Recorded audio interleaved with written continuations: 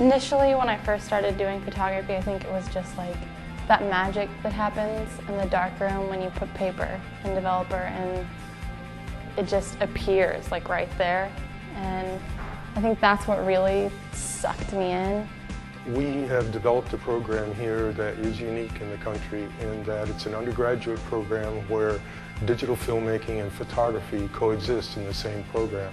There is kind of a shared fellowship amongst the students that we're all, you know, in the same boat together. You have your separate, you know, concentration track, but then through critiques and the constant like questions that you get nailed with, you learn to like really think about why you're taking these photographs. There's a difference between looking and seeing.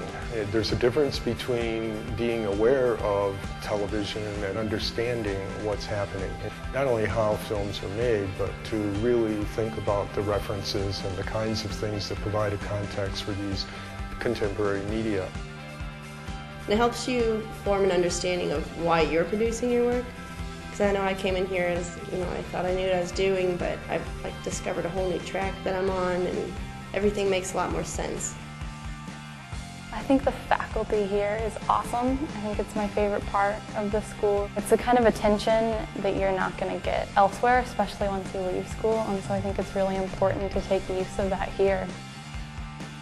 All these things, the latest kinds of technologies and ideas are happening in a program with, uh, with a small number of students, you know, comparatively, and a lot of personal attention, and that's why each person is able to realize their own unique vision.